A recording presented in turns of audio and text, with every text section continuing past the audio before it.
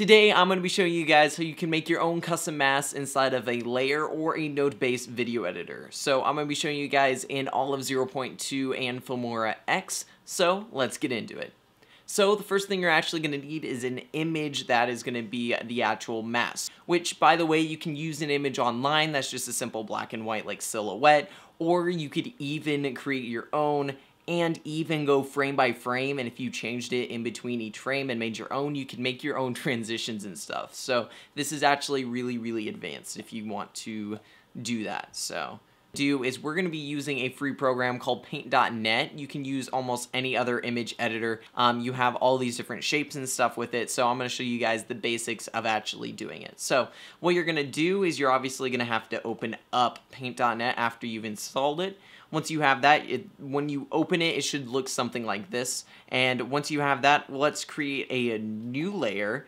And we're going to go down here and we're going to delete it by clicking this delete layer.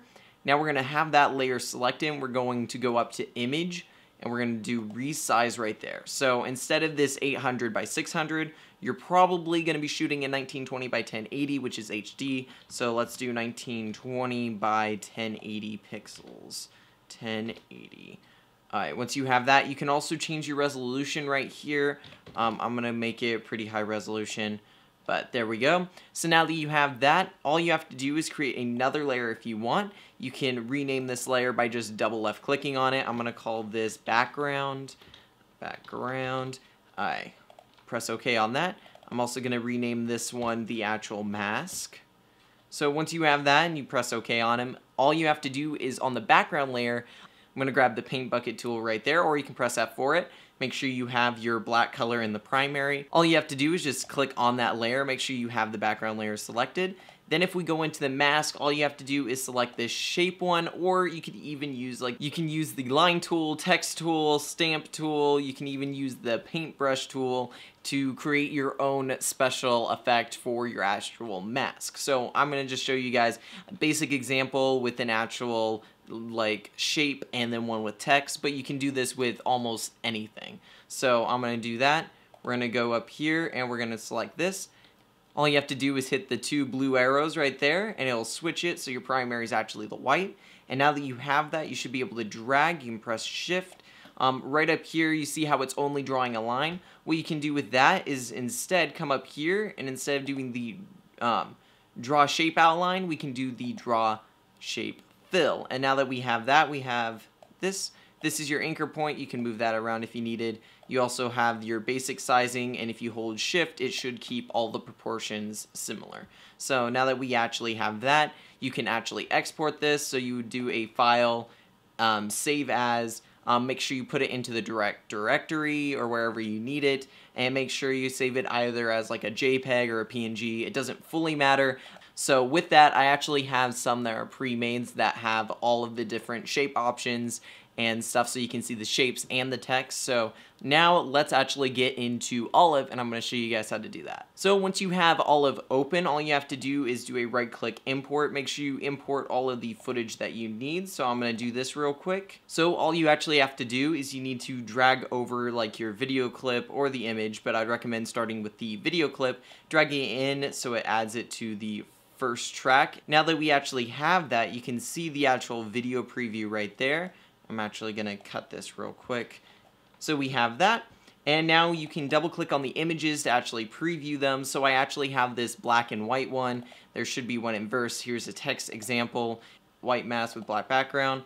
White text with black background. And then this one is the inverse of those. So make sure you guys double click on the one you want. I'm to actually show you guys how to do it with the white one first. So all you have to do is drag that to the layer on top of it, select it, and I'm going to drag it out real quick just so it's the same length. So now go up to the node editor and we're going to do a right click, go down to filter show all. And now that you see this, you can see that it's actually all merged into this one merge node. We're actually going to be using a math node basically the same as a blend mode would work in a normal layer editor. So let's do the add math, go down to the math node right there. We're going to take this, bring this one into value 1. We're going to bring this one into the value 2. And all you have to do with that is hold control after clicking and dragging on it, which will allow you to go and connect them. So now that we actually have it connected there, we can get rid of this merge node and it's going to disappear all of a sudden. This is actually completely fine. All you have to do is take this one and connect it to the viewer and put it into the texture node. So if you click on the actual math node, you can see it's on the add. So basically what it's doing is it's taking video 1 and it's adding video 2 and it's using a blend mode basically to combine them. So the black is being removed, replaced with the actual other one. So you can see that. I'm going to actually move that so you can see it a little bit better. And we actually don't need these connecting. So you can see how the math nodes are combining them.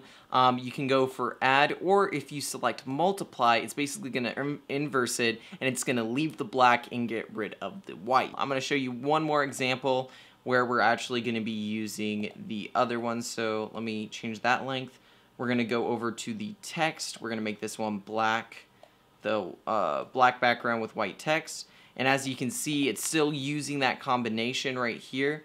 So if you look at all of them, it brings these two clips are on the same track going into this one video node. And all of these effects are adding to both of them. So you can see right there, it's removing the white and it's still removing the white right there. So those are the absolute basics, but all you have to do is double click on that, go into the parameter editor, and switch it to add if you actually want the white to stay and you want to get rid of all the black. That's the absolute basics of actually being able to do this in Olive. So let's go and look actually at Filmora. All you have to do is make sure you have your 16 by 9 or whatever, press new project, and right here, you're gonna add your video clip. So I'm gonna do the exact same thing where we add those two video tracks or whatever, and those should be importing right here, and it shows the actual track that it's importing. We're gonna go back and we're gonna import the actual images that we made.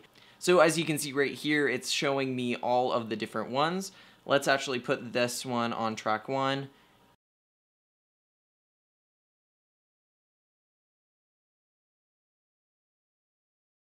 but I'm going to drag this out real quick. All you have to do is select on your upper track, double left click on it, and it's going to pop up to the left of it all of the different options. So if you drop down the compositing one and you change the blend mode to darken, it's going to get rid of the white and leave the black, as you can see right here, just like that. All you have to do to actually change that to be the opposite is instead of choosing darken, we're going to go down and we're actually going to click lighten. And all that's going to do is leave the white and get rid of all the black, allowing us to see the video clip underneath it. Hopefully this tutorial was really, really helpful for you guys. If you guys want to see more videos and you're actually a beginner and you're wanting to learn and stuff like that, I actually have a playlist right here that talks about all of the absolute basics that you really need to know if you're getting into video editing. Then we also have a video over here that YouTube recommends for you. And with that said, guys, remember, keep on editing.